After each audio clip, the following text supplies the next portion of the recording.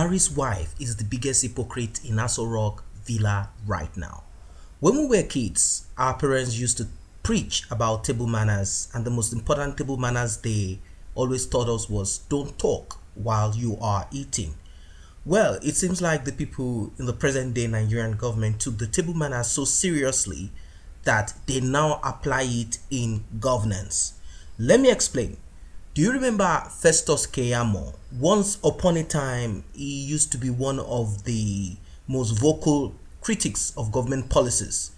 But currently, he is one of Buhari's ministers.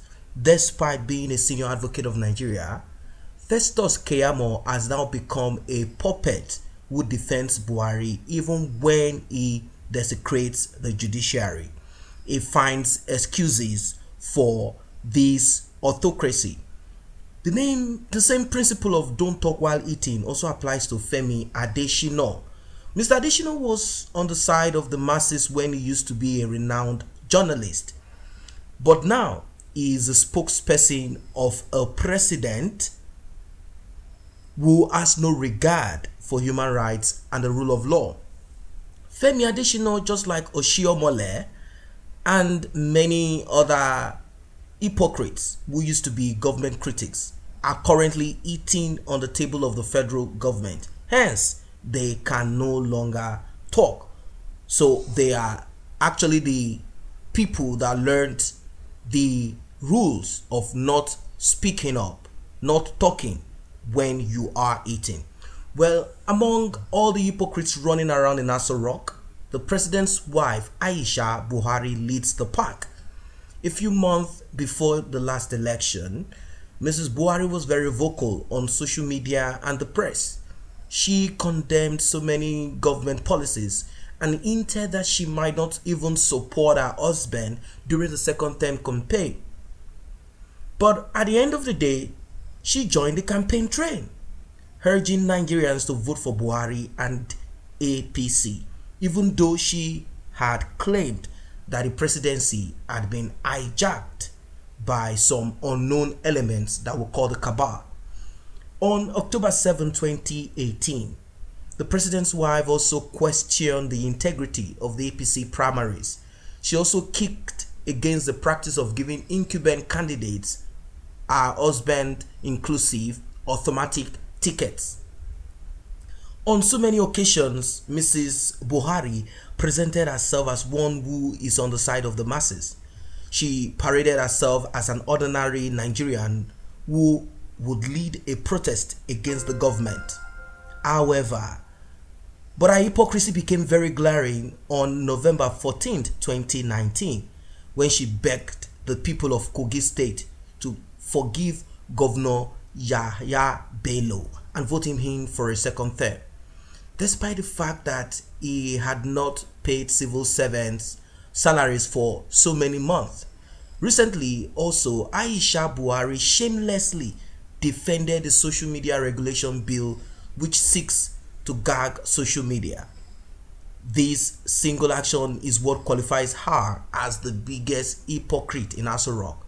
How could she defend such a devilish bill despite the fact that she herself comes to social media to vent her frustrations? Especially when the cabal in Aso Rock starts riding over her and maybe reminding her that the president had on the day of his inauguration promised Nigerians that there will be no office of the first lady.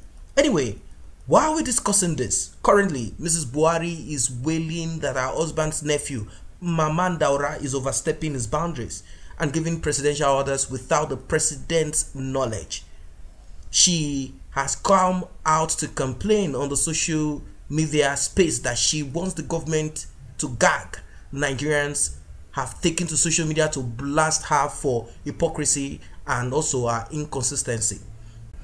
So I'm going to quickly run through some of the tweets. Here, small injustice melted out on Aisha Buhari in Aso She will run to social media to cry. But when she is advocating for tighter social media regulations, Eskisma you don't deserve our sympathy audience. You deserve the likes of Mamman Daura, Garba Shehu, and others. Aisha Buhari should leave the media out of her power tussle with Mamman Daura and Garba Shehu. Nobody is buying a Fox patriotism anymore.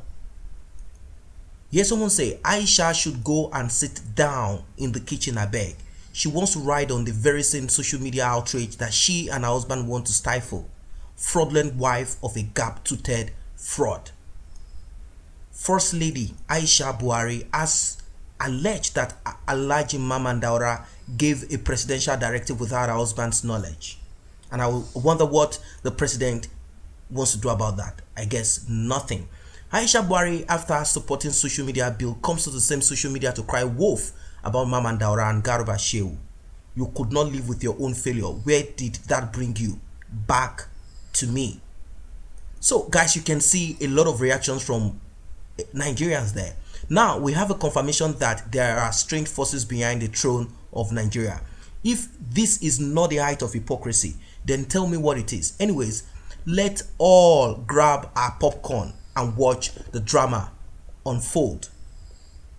That is what it is. Let us see how they will turn out the drama in Aso Villa since they want to stifle everything as they said that she is now the greatest hypocrite. She has decided to turn to embrace the oppressors that she once screamed about.